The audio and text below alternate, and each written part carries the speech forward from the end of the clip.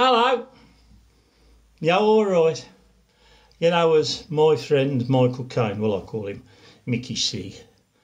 As Michael Caine used to say, not a lot of people know this.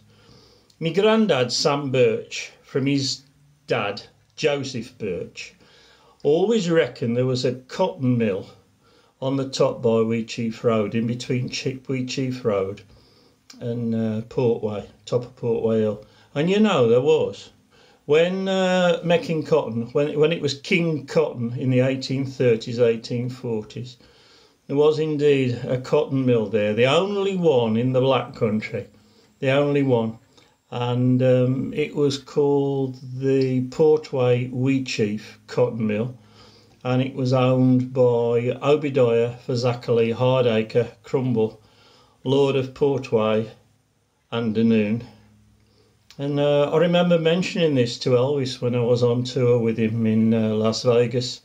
A lovely man, and he very kindly did a did a tribute single called uh, "Cotton Fields of Tividale," and "I Wish I Was in Dudley," which uh, did quite well for him, I think. Anyway, this was a pretty big mill, and uh, investigating at the University of Pensnett, where you know I'm professor um, I discovered a bit of history about it, including the ownership and where it was, and also this little song, which is quite rare. And they made all sorts of cotton stuff. They made um, Sunday hats for ptarmigans. They made thin, warm gloves for milkmaids. Made long socks for welt riddlers, and cotton cummerbunds for accordionists. And uh, this song's about Matilda Curly Topping. That was a real name. They always had nicknames at work. So her was called Matilda Curly Topping. Um, her, her, name was McGill, but she called herself, everybody knew her as Nancy.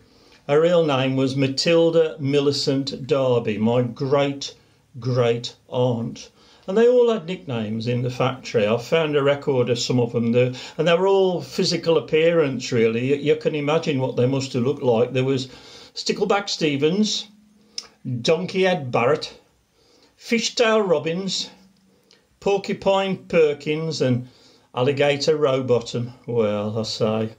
Now it mentions shuttle kissing. When they were making the cotton material, the shuttle was the thing that went backwards and forwards with a thread, and when it ran out of thread, they had to put a new one in. And the girls quickly found that the best way to put the thread in, the quickest way, was shuttle kissing. So they'd put the thread there, and they'd suck it through the hole like that, and it was called shuttle kissing. And this is the song. It's the first song ever about sexual harassment at work. Join in the chorus if you want to. I promise I won't laugh.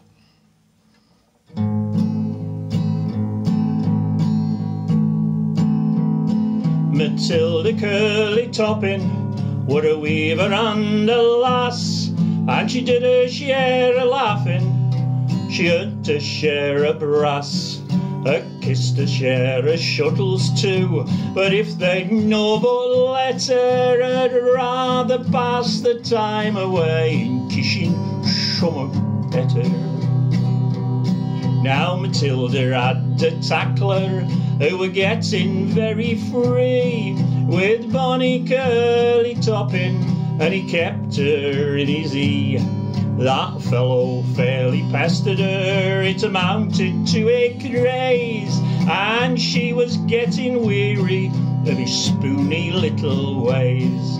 Matilda Curly Topping were a weaver and a lass she did her share of laughing, she earned her share of brass, well, her kissed her share of shuttles too. But if they'd no but let her, I'd rather pass the time away in kissing summer better. Well, she couldn't budge an inch, he were always at her heels. He followed her in factory and going to her meals. One day while she was getting a shuttle from his bench, he blurted out, Matilda, you're a greatly pretty wench. And I don't wanna see ya kissing shuttles all your life. So if I was to ask you, would you come and be me wife? If you give me all your kisses, I'm sure you've many left. I'll make you a painting me for sucking up your weft. Matilda Curly Topping were a weaver and a lass. Her did her share of laughing, and she earned her share of brass. Well, her kissed her share of shuttles too. If they'd no but let her, I'd rather pass the time away in kissing summer better. At that Matilda eye, and she shook her curly head.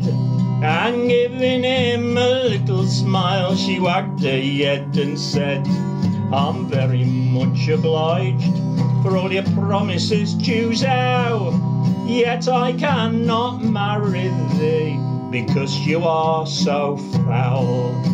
I'm sick of being single, yes, I'm sick of sucking weft.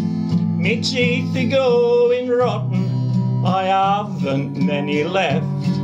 I thank you for your offer, which I very much decline. But I'd rather kiss a shuttle than to kiss a face like thine. Matilda Curly Topping were a weaver and a lass. She did her share of laughing and her her share a brass. a kiss to share a shuttles too. But if they'd no but let her, well, I'd rather pass the time away in kissing summer better. Yes, she'd rather pass the time away in kissing summer better. Did I beat? Boy, there you go. Keep out that Ross Road and thank your mother for the pilings. I'll see you soon. I've got to go now. I've got to go and make some new flies for my fishing gear. I'm going down the Marl tonight to catch some trout for our supper. So uh, I'll see you soon. Ta-da!